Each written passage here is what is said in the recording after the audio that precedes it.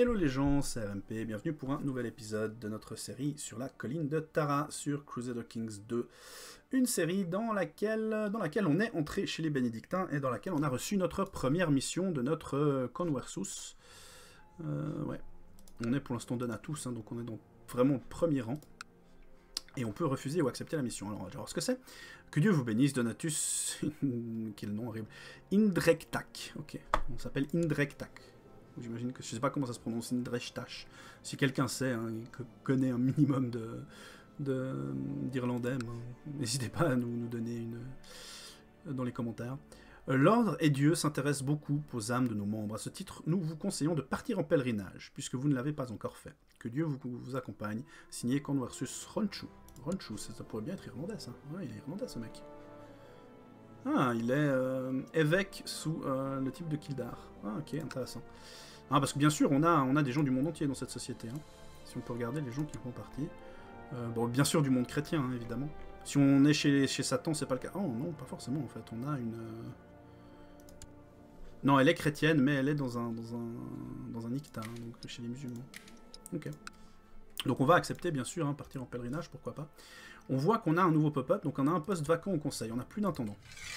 Ok, donc l'intendant, c'était type qui gérait ça, hein, si je me rappelle bien. Et donc on a changé. Maintenant, c'est celui-là, là. Euh, il veut une place au conseil, mais il est absolument incapable d'être intendant. Mais alors, absolument incapable. Il a que 1. Ok? Bon. Euh, du coup, toi, est-ce que tu peux devenir intendant? Pas vraiment. Du coup, toi, je vais te virer. Je vais mettre celui-là là. Voilà, notre maréchal, maintenant. Ok? Très bien, hein, vous voyez qu'il a 43, maintenant il nous aime bien. Puis on va choisir un autre intendant. Vous voyez qu'ils ont euh, des traits de caractère. Pour le moment, ça n'a pas d'importance, mais à terme, vous verrez que c'est important, parce que euh, on peut pas tout choisir tout seul. Le conseil a des voix, on doit faire, on doit faire des, des votes pour faire passer des lois, et euh, le conseil a des voix aussi dans, euh, dans ses lois donc dans les choix de ces lois. Donc chacun des, ont, ont des, des envies différentes. Lui, euh, il, veut, qu'on fasse des choses saintes. hein, il deviendrait fanatique. Lui, il deviendrait euh, euh, arriviste. hein, donc, on va dire, c'est, un peu bizarre arriviste, mais en fait, en gros, lui, il veut, la gloire, quoi. Lui, il est pragmatique, donc il veut ce qui est simple. Et eux sont loyaux, donc ils veulent ce que je veux. Ils veulent ce que je veux. Donc eux, c'est toujours les mieux à prendre en fait. Mais bon, en l'occurrence, c'est pas, pas nécessairement une obligation absolue. On va quand même tenter de faire naître une légende. hein. Euh, Il est possible qu'il nous fasse arriver des combattants. Euh, que ça pourra nous aider éventuellement à euh, prendre cette province quand on en aura l'occasion. Le problème, c'est que les combattants, si on les utilise pas tout de suite, ou pas, je crois qu'on a une année pour les utiliser, sinon on perd du prestige, ce qui est un peu, un peu dommage, mais c'est pas dramatique. Et puis donc, hein, on a la mission de partir en pèlerinage. Si on part en pèlerinage, vous voyez qu'on a cette mission. Si on part en pèlerinage, on va gagner, je sais plus, 200 points, 100 points, quelque chose comme ça, de dévotion. Donc c'est très bien. Donc ce qu'on va faire, c'est qu'on va aller dans Intrigue, et dans Intrigue, on a la possibilité de partir en pèlerinage. Euh, ça va nous coûter 1.5 en or, c'est tout. Et puis on aura un régent pendant le Ok, je dois accomplir un pèlerinage, et ainsi chercher la grâce de Dieu dans un des lieux saints du christianisme. Donc on va gagner 20 de piété. Très bien, continuons. Euh, il existe plusieurs lieux saints dans lesquels vous pourriez vous rendre en pèlerinage. Tous sont considérés comme très saints par l'Église, mais une destination plus proche rendrait votre voyage plus sûr. Je me rendrai dans un des sites anciens, Jérusalem ou Rome. J'ai pas le choix, ok? Alors, Jérusalem et Rome sont les deux lieux saints les plus anciens et les plus sacrés du catholicisme. Alors, je me rendrai en Terre Sainte ou j'irai à Rome. On va aller à Rome, je propose. Mes bagages sont prêts, tout est en ordre. Je marcherai bientôt dans les rues de la ville éternelle et en verrai les merveilles. Que mon voyage commence. Et donc du coup, euh, machin, donc il nous aime bien, tant mieux, puis qui est pas mauvais, est devenu notre régent. Ok, nickel. Euh, alors juste, avant de, continuer la lecture, juste regarder. Oui, malheureusement, le nouveau, euh, nouvel évêque nous aime bien, mais il aime encore plus le pape. Donc on va continuer. Lui est toujours ici, donc il a toujours 20% de chances qu'il améliore les relations. Donc il nous donne 20 de plus de relations avec eux, ce qui, avec lui, ce qui nous permettrait d'augmenter suffisamment les relations avec eux. On va quand même lui donner un titre honorifique. Il va devenir le maître des écuries, pourquoi pas. Hein, donc il va être à 62 déjà, donc on est, très très proche euh, qui, nous donne, euh, qui nous donne de l'argent aussi. Au cours des mois précédents, vous avez consacré de nombreuses nuits à lire la Bible. Alors là, bon, vous verrez, hein, c'est malheureusement, euh, vous voyez que c'est entouré d'argent, hein, ce qui veut dire que c'est lié à mon, mon intérêt. Donc des fois, vous avez des pop-up qui sont sur votre intérêt, qui coïncident assez mal avec certains autres trucs. Là, par exemple, je suis en pèlerinage, mais je suis aussi en train d'étudier la Bible. Pourquoi pas, vous me direz. Donc, au cours des mois précédents, vous avez consacré de nombreuses nuits à lire la Bible. Ces textes renferment une grande sagesse et fournissent des éléments de compréhension au sujet des plus importants mystères de Dieu. Ces textes sacrés m'éclairent sur de nombreux sujets. Gain de 20 de piété, je gagne sagesse ancienne, donc plus un d'érudition, juste pendant, pendant 3 ans, et puis à terme, euh, je vais gagner un d'érudition tout court. Très bien. Ok, très bon papa. Vous regardez par-delà la magnifique vallée, donc on revient sur notre pèlerinage, la magnifique vallée qui s'étend devant vous. Ce devrait être un moment magique, mais vous ne vous attendiez pas à avoir une vallée à cet endroit. Vous êtes en pèlerinage en terre inconnue et vous ne savez absolument pas où vous vous trouvez. Si seulement je n'avais pas écouté ces imbéciles de paysans qui disaient connaître. Voilà. Si seulement j'avais écouté ces paysans qui connaissaient la région. J'ai 30% de chance d'obtenir le trait patience. Rien ou 30% de chance d'obtenir le trait patience. Le trait patience qui est très très bien honnêtement. Donc ouais on va essayer. Et je l'ai récupéré. Bien, je suis devenu patient. Hop, plus 1 un peu partout. Euh, ok, cool. Alors que vous empruntez une longue route désolé, vous croisez un homme allongé sur bas-côté. Il semble avoir été détroussé et battu fort cruellement. Soignons ses blessures et accompagnons-le à l'auberge. Et payons pour sa guérison. Perdre 10 d'or ou laissons-le, il est sûrement déjà mort et je perds le très gentillesse. Hmm.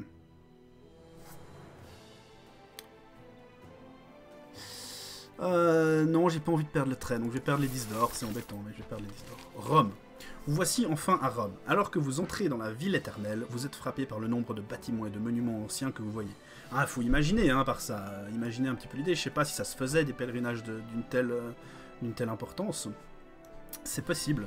Honnêtement, moi, ça me paraît un peu, un peu énorme quand même en termes de, temps et puis de, danger hein, pour un, roi tribal d'Irlande. Mais bon, c'est un catholique, donc pourquoi pas. Hein, imaginez, donc on, est, on vit dans un village tribal vraiment en Irlande et on va à Rome, quoi. Ça doit être juste euh, hallucinant hein, si on se met un peu en roleplay. Euh, cela fait sur vous une forte impression et vous tentez d'imaginer ce qu'ont pu ressentir les apôtres lorsqu'ils sont arrivés ici la première fois pour accomplir leur mission, à une époque où la cité était en fait de sa puissance, était au fait de sa puissance.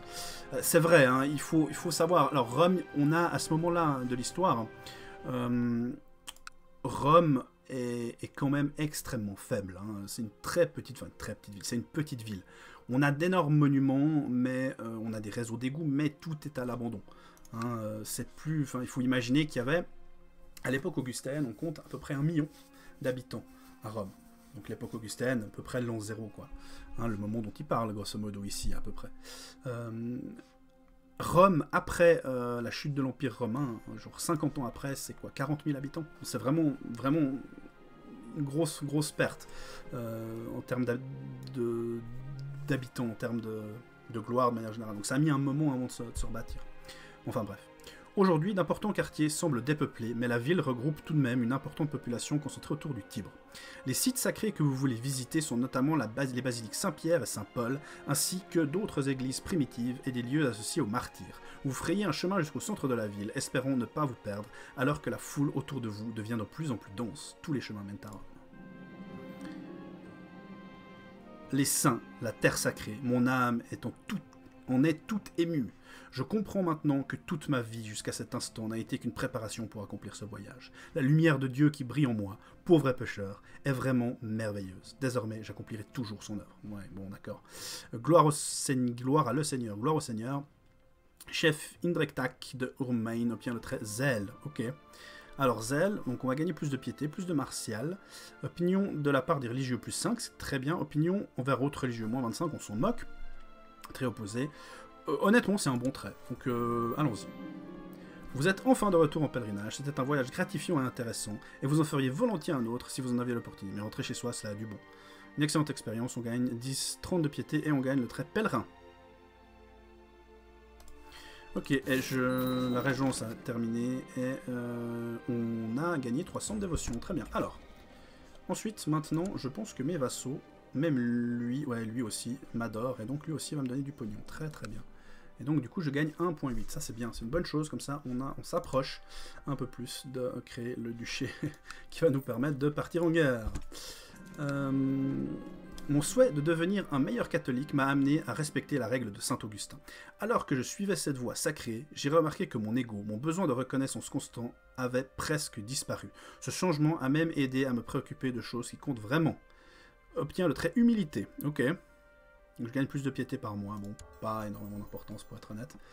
Euh, Ma subjectivité m'a toujours valu plus de louanges que de critiques. Qui eût cru que la partialité pourrait avoir quelque chose de bon? Je gagne 15 de prestige parce que je suis partial. Ok, pourquoi pas. Euh, donc on voit là, on cumule un peu les, bons trucs. En termes de, points, vous voyez qu'on est à 400 points. On n'a pas encore de, mission.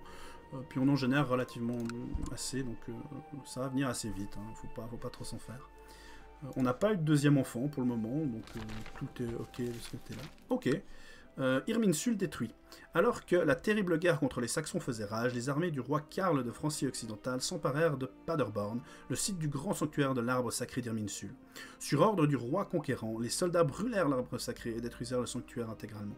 Les fidèles de la religion germanique en furent outrés. Gloria in excellis Deo. Ok, alors bon, ça c'est quelque chose qui est euh, un, événement qui arrive assez régulièrement dès le moment où Paderborn est euh, occupé. J'imagine que c'est là peut-être pas. Je sais pas exactement où, euh, c'est, hein, Paderborn, je vous avoue. Peut-être une de ces tribus-là. je sais pas. bref. En gros, euh, l'idée, hein, c'est que euh, ben, le royaume de, Charlemagne, qui a hérité, hein, j'avais pas vu, mais qui a hérité, comme, selon l'histoire, du, du, royaume de son frère. Donc on a le grand royaume de Charlemagne. Charlemagne a pendant longtemps s'est battu contre les Saxons. Il faut imaginer qu'on a euh, des, chrétiens ici, hein, donc euh, bon, ok. Ici, on a quand même des musulmans qui sont, qui sont assez, assez, assez importants, assez forts. Ici, on a aussi des chrétiens, là aussi. Et là, on a vraiment euh, un bastion païen. Hein. Les, Saxons sont des, un grand royaume germanique païen encore à l'époque. Et du coup, Charlemagne va passer considérablement de temps à massacrer les Saxons. Euh, jusqu'à ce qu'il les, engouffre complètement. Hein. Et donc, en l'occurrence, le, qui était effectivement un, arbre sacré, un sanctuaire en gros, hein, de la religion germanique, a été détruit par, euh, Charlemagne. C'est effectivement un événement historique qui est arrivé. Euh, ok, cela fait longtemps que la Vierge Marie n'est plus dans vos pensées. Vous commencez à vous interroger sur la véracité de ce vieux livre que l'on nomme la Bible. Aurait-il été écrit par d'intelligents menteurs mhm. La Vierge Marie a perdu la vie. Ok Soit on perd le trait zèle, soit on a 30% de chance de gagner le, trait dépression. Hmm. J'aime bien zèle. J'aime vraiment bien zèle.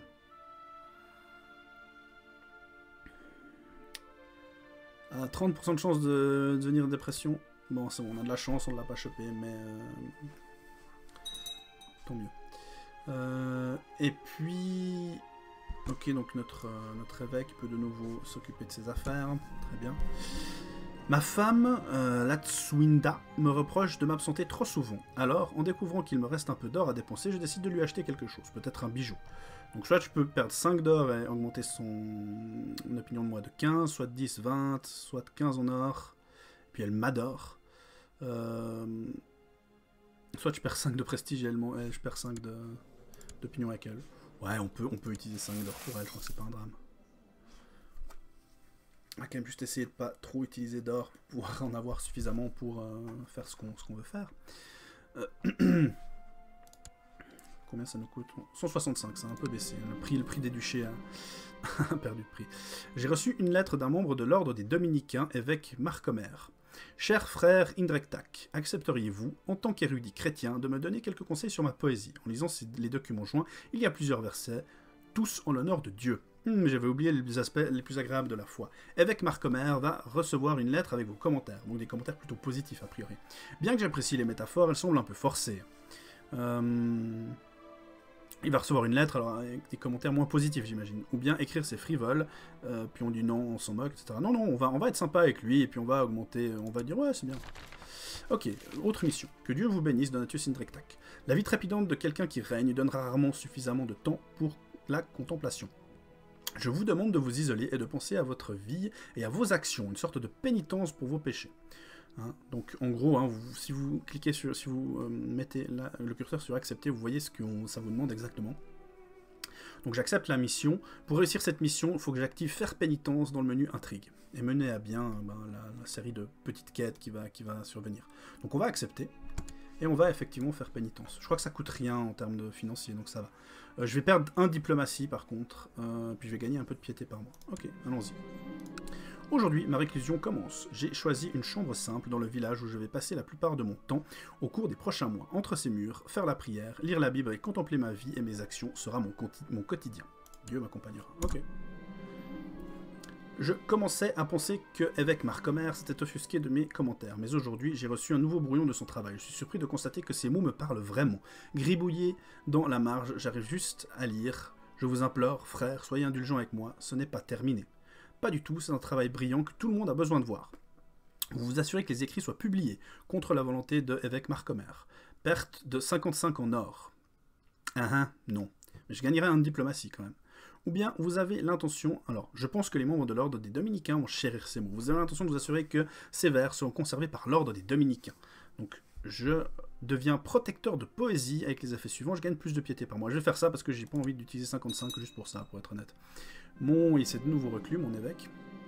Je suis flatté que vous pensiez que mon travail pourrait intéresser l'ordre des dominicains, vous écrit évêque Marcomer de Lan dans sa lettre. Merci de votre soutien, frère, continue-t-il, avant de vous assurer des correction qu'il a l'intention d'apporter avant que la version définitive du manuscrit n'entre dans la bibliothèque. C'est un honneur d'être entouré de grands esprits tels que Marc Homer. Et euh, notre opinion mutuelle euh, Donc c'est l'évêque, on a dit, de... Euh, de où? De Lan? Ouais, ok. Ouais, bon, ça n'a pas énormément d'importance, pourquoi pas. Je sais que Saint-Dominique était un parangon de modération, et je dois lutter pour maîtriser mon appétit. Puisque je passe du temps à faire pénitent, je suis supposé manger de la nourriture de base en petite quantité, mais je m'en lasse. Je ne peux pas me concentrer lorsque mon ventre gargouille. Après un petit plaisir, je retournerai à mes obligations deux fois plus concentré. Alors, 65% de chance de gérer le vice en le pratiquant modérément sans faire remarquer. 35% de pratiquer le vice modérément, mais cela ne suffit pas à rétablir l'objectif. Ok? Je vaincrai mes envies de jeune. 40% de chance de vaincre le vice pour de bon, 60% de chance d'échouer terriblement à surmonter le vice. Ok, on va, on va plutôt être modéré. En gros, l'idée, c'est que, je pense, hein, si je choisis cette deuxième option et que je tombe dans les 40%, j'aurai plus jamais ce pop Mais par contre, j'ai quand même beaucoup plus de chances de, régresser dans ma progression. En gros, si vous voulez, pour, pour cette histoire de... Euh, comment on appelle ça euh, Ce que j'ai fait là. Je cherche juste... Se reclure. Hein, cette histoire de réclusion. Faire pénitence. Voilà, dans cette histoire de pénitence, on aura des événements qui vont faire que notre pénitence va avancer, si vous voulez. Et plus elle avance, au bout d'un moment, elle va se terminer. Et on a des événements qui nous disent, bon ben voilà, hein, si je fais ça, en gros, dans 65% des cas, ben, ça avance. Dans 35% des cas, ça avance pas. Et là, j'ai l'impression que 40% de chance, ça avance. Et ça continuera à avancer sans aucun problème. Et 60% de chance, ça, ça va même probablement baisser. Donc on va plutôt choisir ça, puis on va voir ce que ça donne. Après minuit, je me suis aventuré dans les cuisines pour trouver quelque chose pour faire euh, taire ma faim. J'ai rapidement trouvé mes friandises préférées, en... Je me suis mise à en mettre une poignée dans ma bouche. Cependant, ma frénésie fut interrompue quand un domestique entra dans la pièce. Lorsque je me suis caché dans le garde-manger, la honte m'a envahi. Je n'ai pas pu manger autre. Ok. Maintenant, je me sens juste écœuré. Passe du temps à faire pénitence, mais ne fait aucun problème. Voilà. Ok. Embêtant. J'ai passé toute la journée à faire la prière avec une profonde concentration. Durant les premières heures, je n'ai rien remarqué d'inhabituel, mais à un moment donné, j'ai perdu la connaissance du temps et suis entré dans un, état onirique. Il n'y avait rien d'autre que les saintes paroles qui passaient par mes lèvres et elles sonnaient vraiment comme la plus douce des musiques. Dieu m'a montré la lumière. Pas du temps à faire pénitence et fait des progrès. Nickel. La journée a été faite de nouvelles idées et de révélations. Dans ma solitude, j'ai eu beaucoup de temps pour penser à mes actes, ma vie et ma place dans ce monde. Des choses auxquelles je n'avais jamais pensé avant et qui à présent sont devenues très claires. Passe du temps à faire pénitence et fait des progrès, très bien. Et là, vous voyez que j'ai ce petit pop-up, ce qui veut dire que je peux demander une promotion. J'ai mes 750 de dévotion. Ok, alors allons-y, je demande ma promotion. Vous voyez que je perds toute ma dévotion du coup. Euh, c'est pas grave, je vais en récupérer assez vite. Et puis, j'ai été honoré par le Donatus, enfin non, par le, le Conversus. Euh, et je suis du coup du rang supérieur, je suis devenu Oblatus. Et donc en tant qu'Oblatus, je peux faire vœu de célibat ou renoncer à mon vœu de célibat. Donc je vais regarder comment je peux faire ça. Non, c'est pas là, c'est dans les décisions si je me trompe pas. Voilà, faire vœu de célibat. J'obtiens le 13 célibat. C'est tentant, pour être parfaitement honnête, parce que j'ai déjà un gamin, donc je me dis pourquoi, pourquoi chercher euh, le risque? Le problème c'est que s'il meurt, ben après j'ai plus personne. Hmm. Écoutez, on va, on va le faire. On va devenir célibat. Faire, vœu de célibat. J'ai décidé de montrer ma dévotion à Dieu et l'ordre en faisant vœu de célibat. Dieu soit loué.